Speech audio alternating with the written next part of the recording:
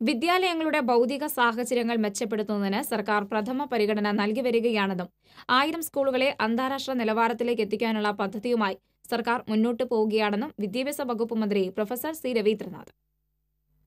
Thiruvilwamala government vocational higher secondary സ്കൂളിന്റെ ശതാബ്ദി ആഘോഷവും വി എച്ച് എസ് സി രജത ജൂബിലിയുടെ ഭാഗമായുള്ള പുതിയ കെട്ടിടത്തിന്റെ ഉദ്ഘാടനവും നിർവഹിച്ച് സംസാരിക്കുകയായിരുന്നു അദ്ദേഹം. ചേലക്കര നിയോജക മണ്ഡലത്തിൽ ആകെ ഇരുപത്തിയെട്ട് കോടി രൂപയുടെ സ്കൂൾ കെട്ടിടങ്ങളാണ് സംസ്ഥാന സർക്കാർ അനുവദിച്ചിട്ടുള്ളത്. ഈ വർഷം തന്നെ നിർമ്മാണ പ്രവർത്തികൾ ആരംഭിക്കുമെന്നും അടുത്ത വർഷത്തോടു കൂടി പൂർത്തീകരിക്കുമെന്നും അദ്ദേഹം പറഞ്ഞു. എല്ലാ സ്കൂളുകളെയും ആധുനികവൽക്കരിക്കുന്നതോടൊപ്പം വിദ്യാർത്ഥികൾക്കുള്ള ഭക്ഷണ വിതരണം മികവുറ്റതാക്കാനും എല്ലാ ക്ലാസ് റൂമുകളും ഹൈടെക് ആക്കി മാറ്റുവാനും സർക്കാർ പദ്ധതി രൂപീകരിച്ചിരിക്കുകയാണെന്നും മന്ത്രി കൂട്ടിച്ചേർത്തു. സ്കൂൾ വിദ്യാർത്ഥികളുടെയും അധ്യാപകരുടെയും നേതൃത്വത്തിൽ നടത്തുന്ന കാരുണ്യം പരിപാടിയുടെ ഉദ്ഘാടനവും അദ്ദേഹം നിർവഹിച്ചു. U R Pradeep Kumar M ചടങ്ങിൽ അധ്യക്ഷനായിരുന്നു.